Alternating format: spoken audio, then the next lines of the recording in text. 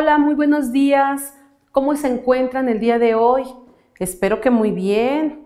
Qué bueno. Muy buenos días familia.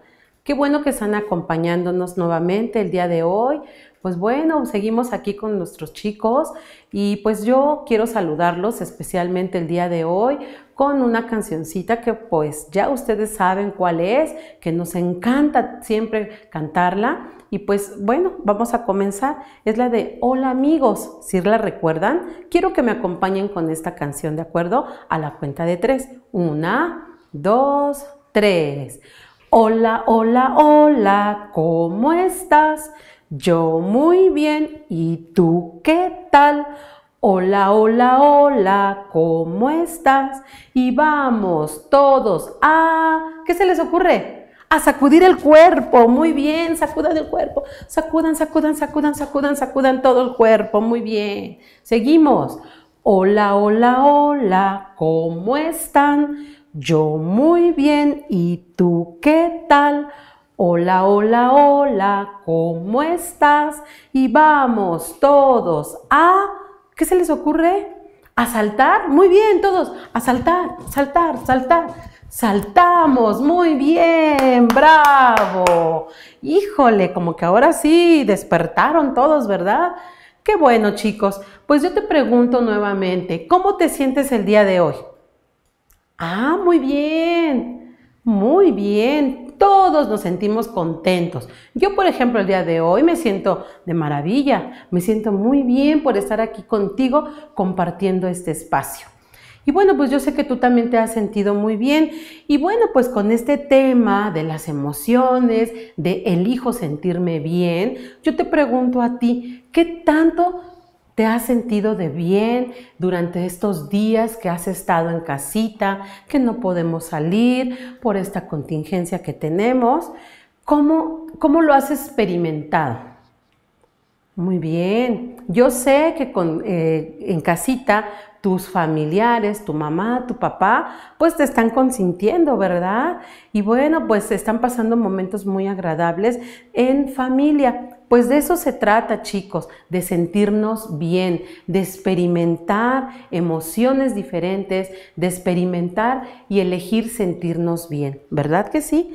Ese es nuestro tema de toda esta semana, de todos estos días. Y pues yo te pregunto, por ejemplo, las tareas anteriores, has estado conviviendo con familia, has estado experimentando algunas situaciones de cómo ellos también se sienten, porque no nada más vamos a pensar en nosotros, sino también vamos a pensar en la familia que tenemos alrededor, ¿verdad?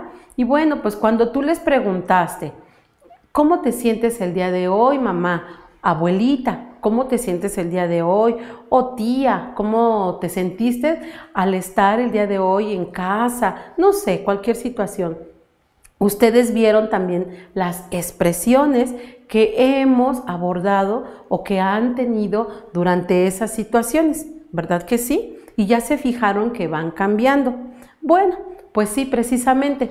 Yo el día de hoy traje para ustedes al monstruo de colores. El monstruo de colores nos expresa diferentes emociones. Tenemos aquí el de la tristeza. Tenemos la calma, tenemos la alegría, la sorpresa, el miedo y el enojo. Estos son los estados de ánimo por los que podemos pasar durante estas situaciones que tenemos en casita o durante estos días que permanecemos en casa. ¿sí? Yo te invito para que tú des un repaso, pues ya habíamos visto en alguna ocasión este tema, a estos monstruos de colores. Si recuerdan que ustedes mismos los iluminaron, los repasaron, incluso por ahí inventaron una historia de, con, los, con el monstruo de colores, acomodando todas en un mismo monstruo. Bueno, pues bueno, yo quiero que ahorita ustedes pues le den un repaso a estas emociones y vayan experimentando en casita por qué tenemos estas emociones en casa. ¿Cómo lo vivimos? ¿Cómo lo experimentamos? Con mamá, con papá, con la familia. ¿De acuerdo? No quiero que te sientas mal si tú eh, varias veces experimentas el tener enojo o el tener miedo. No siempre va a ser tener alegría. No siempre va a tener eh, este, estar sorprendido porque te regalen, porque te den alguna, algún objeto. No, también experimentamos estas dos, que es el miedo y el enojo, que son como que las más difíciles, ¿verdad? Pero no te dé preocupación por que tengas que experimentar estas dos. Pero sí es importante que tú sepas diferenciar cada una y también te aprendas los colores de cada una, porque más adelante vamos a trabajar precisamente con estos colores que ya les voy a mencionar y pues este es importante por eso que te los aprendas, ¿de acuerdo? El día de hoy yo te voy a dejar como actividad para que lo hagas en tu casa la siguiente actividad.